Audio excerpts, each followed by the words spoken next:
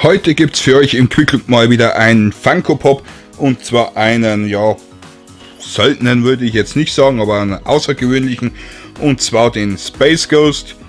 Da gibt es drei Figuren in der Serie, Brack, Zorak und Space Ghost. Ich weiß jetzt nicht genau, es war mal ein Comic, das weiß ich, aber die Storyline habe ich jetzt nicht mehr so im Kopf.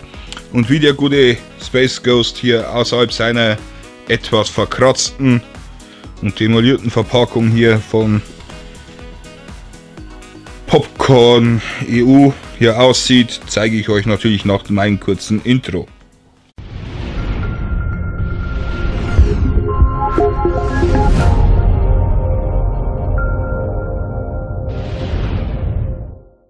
Servus YouTube und willkommen zurück bei mir auf den Kanal und hier seht ihr nun die Figurkreisen von Space Ghost wie gesagt, das war, ist eine Comicfigur oder war eine Comicfigur, eine etwas ältere.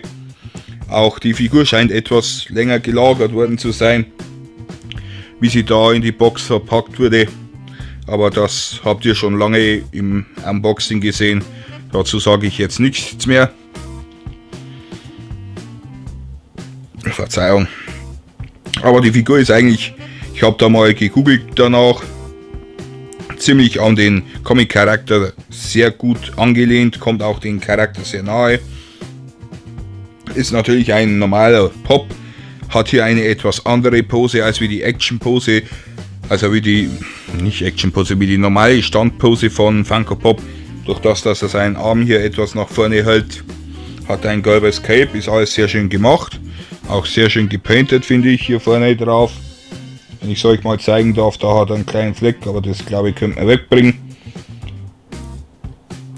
Der wird, äh, denke ich mal, hier in meiner Sammlung bleiben. Weil es doch schon eine Figur ist, die in Deutschland überhaupt nicht bekannt, beziehungsweise fast gar nicht bekannt ist, sondern wirklich nur recht hartgesottenen Nerds. Um es mal so zu sagen, wird der mal bleiben. Das ist zwar nicht jetzt die wertvollste Figur dann, aber es ist eine Figur, die halt ihren Seltenheitswert in Deutschland hat.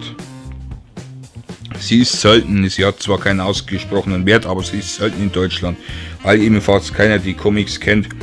Und dann würde ich sagen, war es das auch schon wieder für den Quick Look.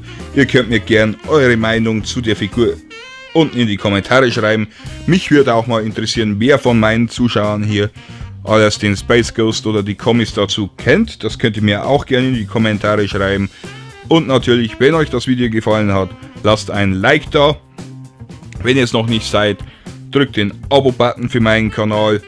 Und dann sage ich Tschö und auf Wiedersehen. Wir sehen uns beim nächsten Mal.